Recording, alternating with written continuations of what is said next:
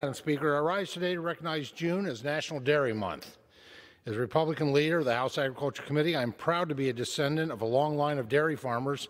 In fact, Pennsylvania is one of the largest milk producing states in the nation. We're home to more than 474,000 cows. National Dairy Month began as National Milk Month in 1937. Now it has developed into an annual tradition that celebrates the contributions the dairy industry has made to the world.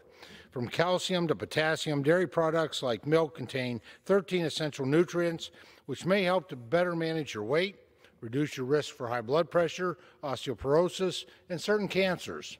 Yet for too long, dairy products like milk have been unfairly demonized.